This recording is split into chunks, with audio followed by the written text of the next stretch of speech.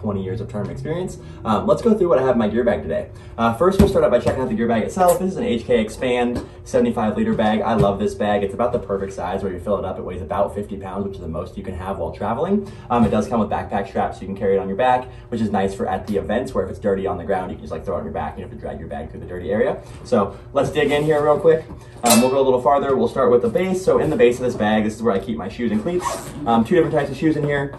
I have my off-field shoes, so at paintball tournaments it's really dirty and gross, so I like to wear these so that I don't ruin my nice shoes. And then I have my cleats, as you can see here. Um, this expand bag is really cool because the inside of this section is actually the same as the outside, so you can put dirty stuff in it and it stays clean on the inside. It also expands out so you can have a longer section in your gear bag and carry more gear. Let's keep rolling. Um, in the side pockets, I like to keep my padding. Uh, Eclipse knee pads, I like these ones because they're dense and hard. They do a good job protecting. I actually don't wear knee pads all the time, so I hide in the back a lot so I don't have to dive. Um, elbow pads I always wear. So let's check out the next section.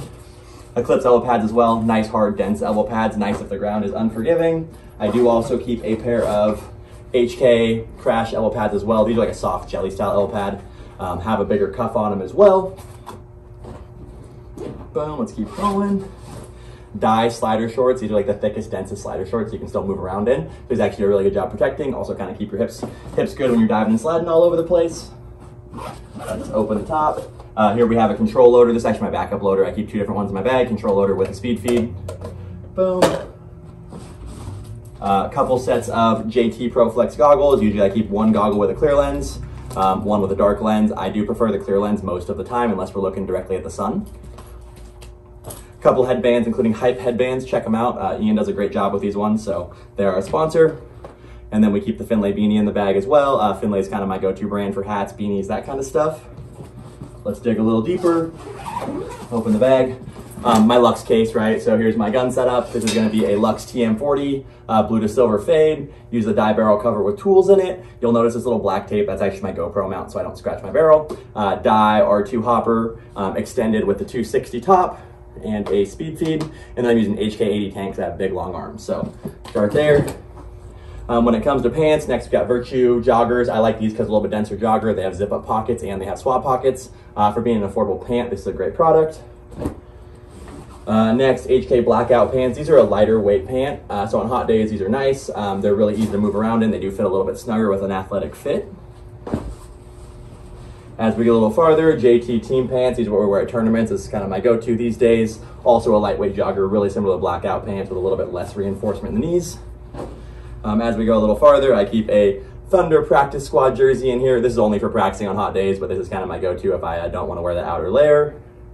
And then we're gonna have our JT team jerseys. This is the ones we wear at events. DBS factory jersey. Boom. Empire Pod Pack 4 plus 7. I do need to be able to carry at least 9 pods, so it's about the smallest pod pack I'll be able to use. Um, and I always use strapped pod packs. I'm not a big fan of strapless ones. I lose a few too many pods and I need all the paintballs I can get. Boom. Let's dig into some of the nuance here. This is some of the fun stuff. Um, so here we have a pair of Gorilla gloves. I don't really wear gloves when I play, but these are nice to have for cold days. I have the replacement lid for my R2 so I can go back and get away from the speed if it's pouring down rain. A uh, couple extra barrel covers just in case my guys are missing the mark.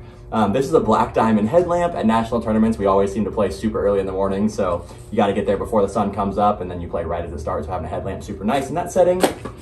Also going to have a toothbrush to clean my gear when I need to. This is a reg extender, so if I ever need a different tank, I can throw the extender on to get the right length for my long arms. Uh, this is going to be my GoPro mount. I use this thing all the time to get good footage. Um, in the top section here in my bag, you'll notice that uh, we have a few different swabs. These are actually visors as well for my goggles playing on those sunny or rainy days, that's nice to have. And then this bag does also have a compartment for your gun, barrel kit, and then some other extras in it. So that's pretty much all that's in my gear bag. Uh, come into the shop, check out all this stuff, and let me know if you have any questions.